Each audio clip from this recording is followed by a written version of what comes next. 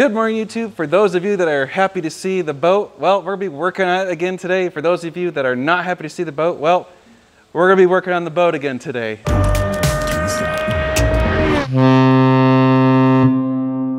If you're new to the channel, my name is Dan. We are at Adam's Garage, and Adam's actually working on his Porsche, doing an oil change. We've actually done a video about the Porsche oil change. So if you wanna go see that, go check the video history on this channel. But Today we got a few things to do in the boat, so it's not perfect, obviously. I bought a kind of messed up 1995 boat, so yeah, nothing's gonna be working. Well, not nothing, but you know, there's definitely a lot of things not working correctly, including the lights and the radio. So we're gonna try and do some wiring work today. Hopefully it's not gonna be too difficult. But before we get into that real quick, if you wanna support this channel, go check out normalguysupercar.com.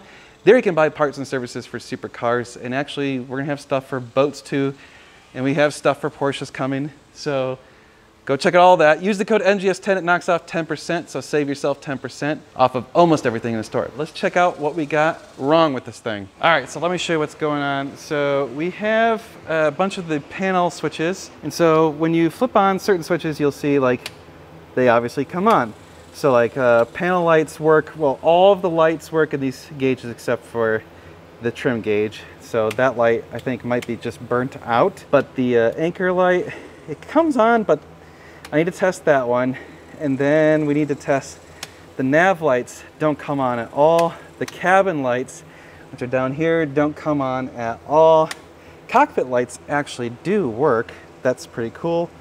And then the engine compartment lights work as well. So the final thing is that the radio is actually just kind of like wired with some like literally jankety wires, like you just twist those two together and then the radio comes on, but it's hardwired to the battery. So if you connect them, the radio is always on. So what I did is I bought a switch and I'm gonna actually repurpose this spot on the dash. So right now this is a toggle switch, but it's not, uh, you know, it doesn't hold, it just is uh, on, off, on, off. And I bought a new switch that flicks on and we're gonna replace that switch so it turns on the radio. So we're probably gonna have to pull off the dashboard or at least figure out this switch and get some wiring and that way we can run it off of the power that comes to the dashboard. So I think we'll be able to get that reasonably easy. Uh, the cabin lights will be a little bit tricky. The nav lights, I'm suspicious that maybe it might just be a like bulb or something. So we're gonna try testing the light bulb and see if it's any good. All right, so I got my anchor light into the mast. Let's flick the switch and see if it turns on. Oh, well, no light. Yeah, I guess we need to find out if there's power going back there or if my little anchor light thing is just lying to me. All right, we're gonna use a voltmeter and plug it into those leads down there and see if we have 12 volts coming back here. I have no idea which one's positive or negative, but we'll just poking in there.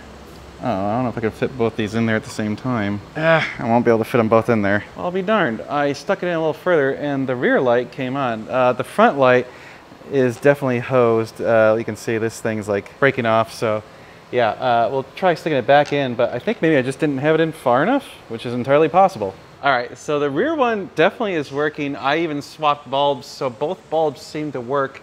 I think maybe it's I need to hit the nav switch. Let's try that real quick. Well, given how beat up this thing is, I'm just gonna replace it anyway because it's uh, it's all messed up. So we'll just put a new mast in and and I think it'll be better. All right, so I just ordered a new light pole since my other one's all jankety, so that'll take care of that. So let's move on to the front nav lights. Actually, before we do real quick, I wanna try and get this light to work. So let's pop that sucker off. All right, got the two screws out. Okay. It's got like a little gasket, which I'm willing to bet that that gasket is not sealing anymore. So I probably want to replace that gasket. It's uh, pretty dry. Good news is the wiring is right there. So let's take a look if I can get this out somehow. Let's see, without damaging it. I don't want to be, you can feel it's like pretty ancient. I don't want to break anything. Adam dropped something very loud. It frightened me. Okay, let's try this guy. I think this will fit in there. Oh yeah. That's what we wanted. There. Haha. that bulb doesn't look like it's good. let's make sure we're still getting voltage back here. Hmm. I don't see any volts. The tiniest bit of voltage. I wonder if it needs to be cleaned up. It's pretty corroded in there. Yeah, and that will increase the resistance by a shitload. yeah. Okay, I'm trying to get it right on the clean spot. I mean, I guess the real question would be, is there even power coming to these wires? Yeah. I almost should just take off the crimps and see. Yeah.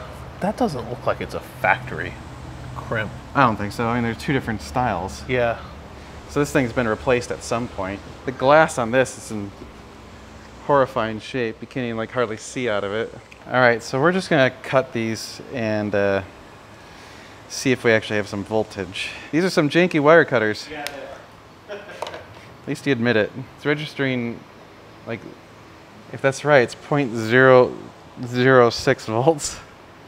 That doesn't seem right. All right, we're gonna take apart the front nav light as well and check on the light bulbs in this one. As long as we're doing it, let's like get them all. It is really, really hot out.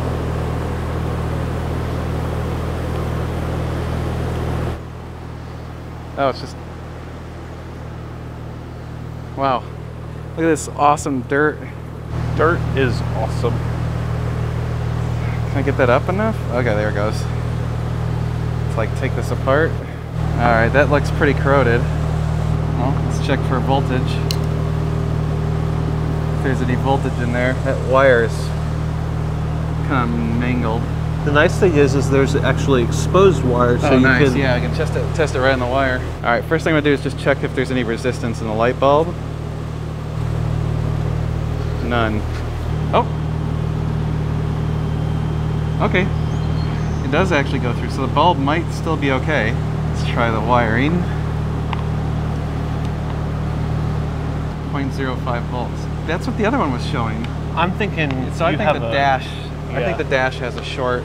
So this light actually might be okay, although it's in bad shape.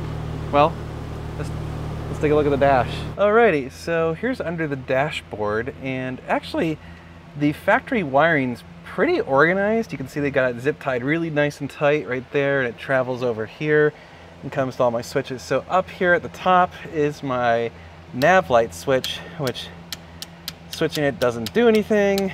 If you notice the light below it, the anchor switch, woo, turns on the little light. So I don't know if it's the light that's broken out or if it's the actual switch. So we're gonna need to take that and figure out which one it is. So uh, I'm trying to figure out what's the best option here. Maybe I just disconnect that actual switch from the panel and get the wires out and take a look. Uh, that's funny. So like this here, this wire here actually broke off from the pin on the switch.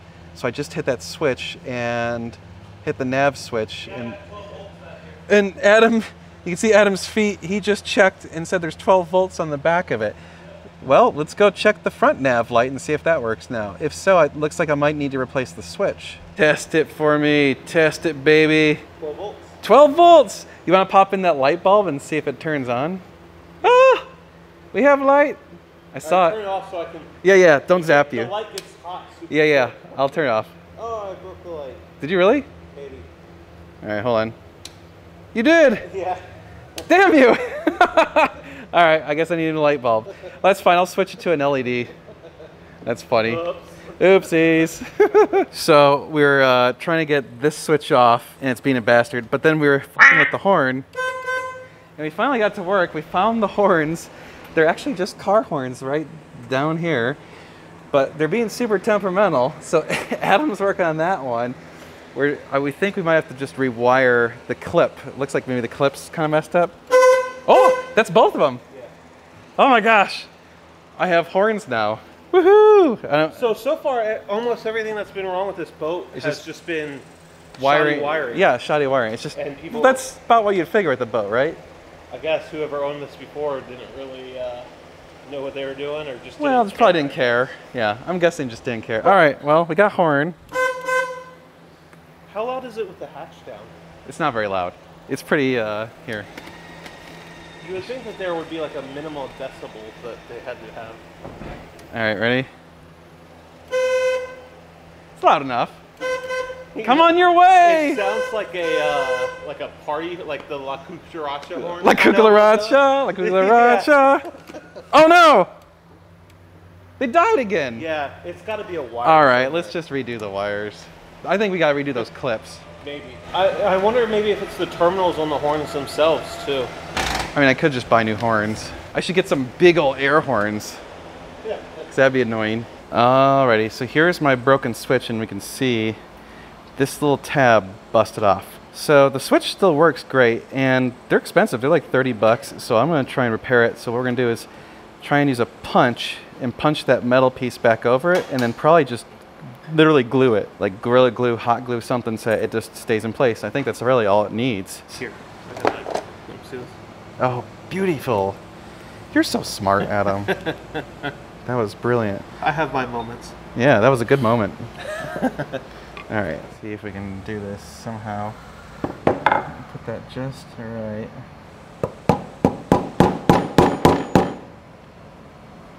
How's it hold? Oh, dude. Yeah, I would still. Yeah, let's let's put some glue over it just so it's uh, really tight. But that's exactly what it needed. All right, we just got a little bit of epoxy. Just gonna dab it on there. Surgery. Oh, oh no. There we go. Yeah, I'll do it. I'll do. That should hold it in place pretty good. All right, so we'll just let that dry for a few minutes. This switch that I pulled out is like a intermittent switch and it actually connects to the GPS. So I don't know exactly what it does. It's still connected down here dangling.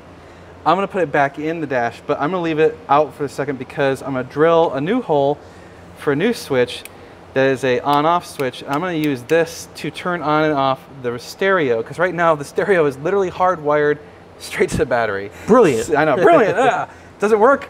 Give it to the battery. I'm just gonna put a new hole right here next to it, so I'll have the GPS switch and I'll have a battery switch. So like right there.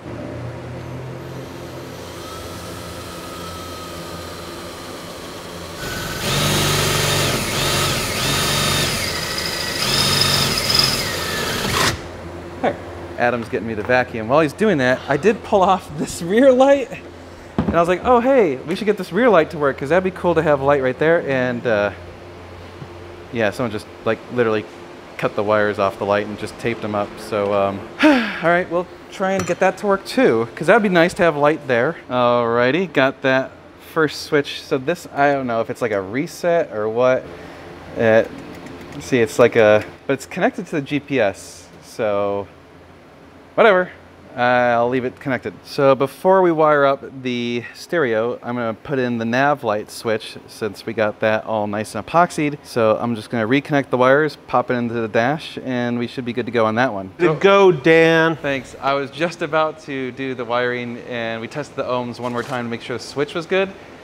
And then I popped the thing off. So clearly we did not attach it with enough epoxy. So I think part of it's the epoxy is taking a long time to dry because of the humidity today. So we're gonna put some more epoxy, let it dry a little bit longer, then we'll do that switch. So I guess we will do the uh, stereo wire first. So this is the Jankity wire that is attached to the stereo that actually turns the stereo on. This is a power wire that, um, well, I think is wired directly to the battery. So when I connect those, the stereo turns on. There is a bunch of other wires that are just dangling here and I'm gonna clip anything that is just dangling like this thing and does not appear to be connected to anything. This is the only one I really care about. So what I'm gonna have to do is extend that wire all the way over to the switch panel to that new hole and then run the wire back over to the stereo. So that should be pretty easy. I'm gonna use a heat gun to get a good connection though. So we got our wires connected.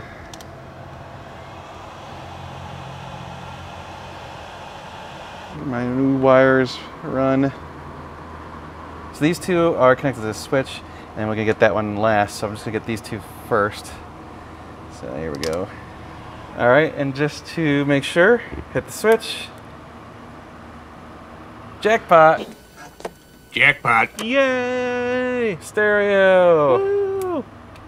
That's so cool. All right, so now we gotta just put this in the dash. Carefully.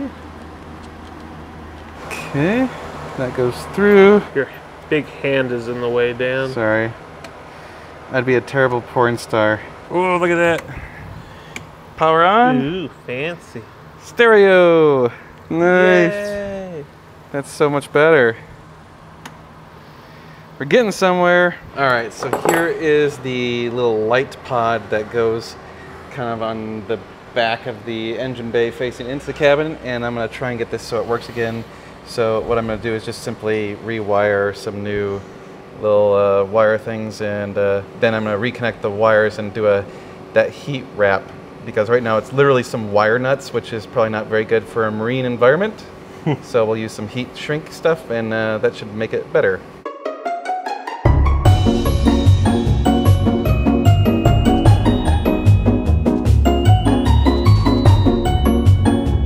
All right, check it out. Cockpit lights. There, there, and there. Heck yeah, those are working now. Totally had to rewire that giant bundle of crap. It was just total rat's nest. Now I used uh, the heat shrinks, you know, solder thingies. So I think we get, don't have to worry about it shorting out with like water and stuff. So much better. Yes. Now let's put back in the nav lights. All right, got my new nav light switch in and 12 volts, yay! 12 volts, yay! I need to buy a new light bulb, yay! Yep, but we got 12 volts. Woohoo! hey YouTube. So, uh, I think I found out what's on with the cabin lights. The wire itself that feeds the switch, I put a new fuse in there and it blew the second I put the fuse in. So the wire, and the wire is disconnected from the switch. So the wire itself is screwed. So I'm just gonna rerun a new wire. Sweet. All right, check it out. Cabin lights. Well, one of them's on. I think the bulbs burn out in the other one. Look at it. So I turned on the switch. There's a switch on the back of it. And it came on. So there's a switch on each light. I guess so. Let's check this one. So there's a switch on the dash and then a switch on each light. This one, the switch is pushed in, so you can't actually get to it. But this one, the switch is sticking out. Huh. All right. Well, Yay! I have a cabin. Stabbing cabin. The stabbing cabin. I should put some of this crap up here. Whew. All right. Well, that kind of solves all the wiring needs for the day. So I just need to get some fuses and some light bulbs And horns. and some horns. All right. Well, I'll call that a success. Yay! Yay! Spirit fingers. These are not spirit fingers. These are spirit fingers.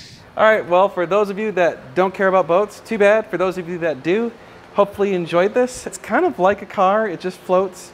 Still got the same things, wires and engines and stuff. So if you want to support this channel, you can do so by going to normalguysupercar.com. We do appreciate when you guys do it because that's literally our job. So you are helping How we make money. Yes, you're keeping us able to do this and paying our bills. So thank you so, so much. We genuinely do appreciate it. Also, don't forget, we have the Thursday night live every Thursday night at 8 p.m. Central. So check that out. We have a project car coming very, very soon.